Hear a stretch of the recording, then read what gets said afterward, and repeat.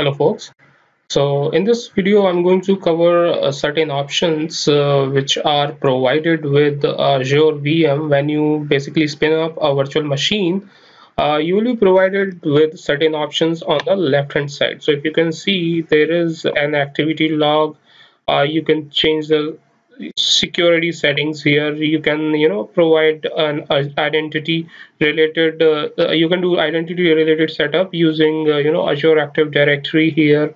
Then if you want to set up some backup related uh, stuff uh, you can do it uh, using this particular tab. Disaster recovery can be enabled or disabled through this particular tab.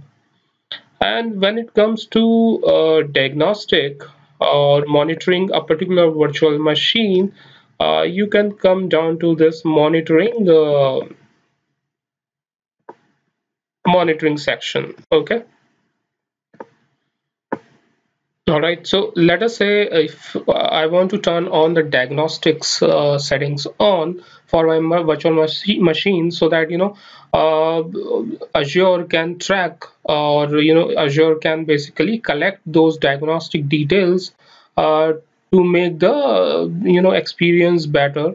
And uh, through that uh, those actually diagnostics we can also make sure that you know we can perform some analytics on top of uh, that uh, uh, you know diagnostic to make the you know experience better for our end users. So if we click on diagnostic settings okay you will be provided with the certain options okay?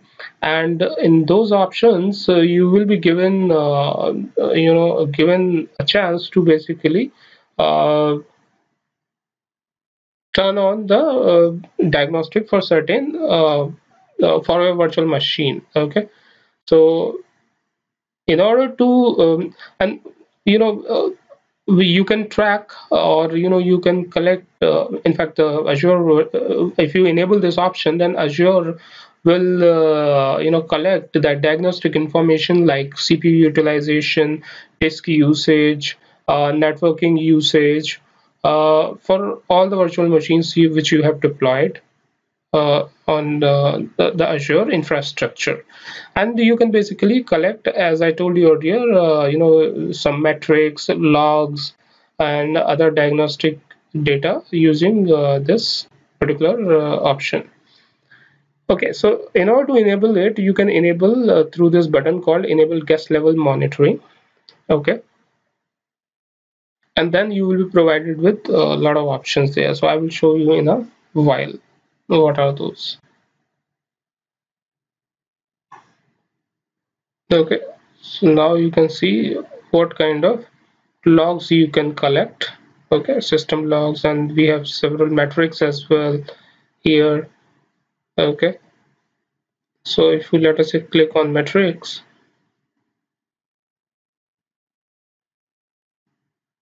Okay. So you can configure basically the sample rate here how often you want to collect the metrics for let us say your processor virtual machine processor virtual machine memory uh, networking details file system and disk usage details. So these are some of the options. And uh, if we collect uh, if we uh, basically set the sample rate let us say if I make it 30 second uh, then every 30 second uh, the data will be collected. Diagnostic data will be collected for the processor itself. Okay so let's see the custom details here. Uh, nothing much on this. Uh, let's click on save first. So if we click on configure metrics you can add a new matrix here right if in case you want to. And let's discard it for now. Okay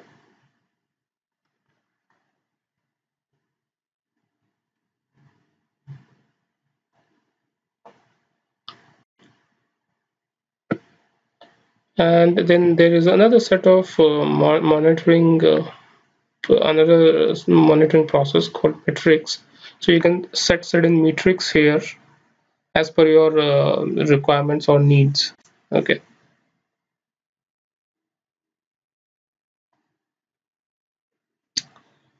So you can see that uh, the resource name uh, which is my virtual machine uh, namespace is this and then you are provided with certain uh, metrics here. So cpu credits consumed you can set that or cpu credits remaining uh, data disk qd uh, which is right now deprecated. And this is queue depth is in preview mode. Okay. So let us say if i can set this particular metric then you will be able to see the aggregated average value for your CPU credit consumption. Okay here. All right so that is the way you can set up a metric here. If you go into logs section okay one more thing I wanted to tell you in metrics. Just give me a moment. Let me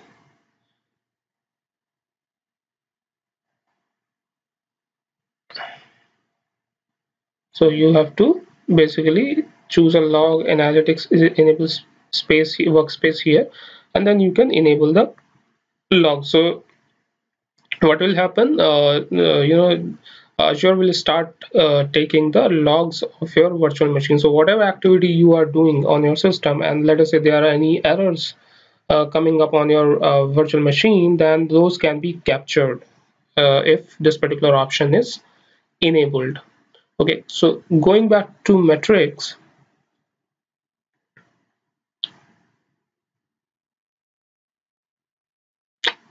all right so you can basically uh, when you select any uh, metrics right you can basically uh, choose your the chart of your choice here right? So if you want to see the details in form in the form of area chart you can select the area chart here if you want a bar chart you can select a bar chart here.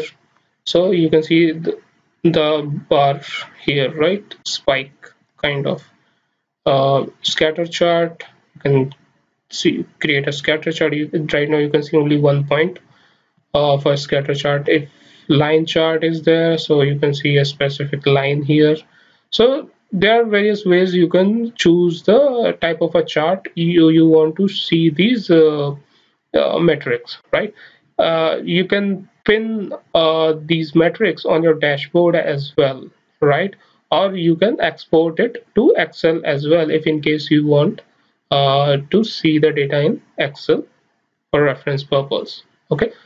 So guys, uh, this is the way we can basically enable the monitoring option uh, to capture the diagnostics of your virtual machine uh, in order to basically you, you, can do some analytics on log data to uh, you know make the experience of our end customers better by resolving the issues and going through the uh, diagnostic and uh, figuring out what kind of issues you are having on that virtual machine. Okay? So guys uh, this is it for this video. Uh, i will be covering next topics in the upcoming video so keep on watching and please hit like button and subscribe as well if in case you like this video. Thank you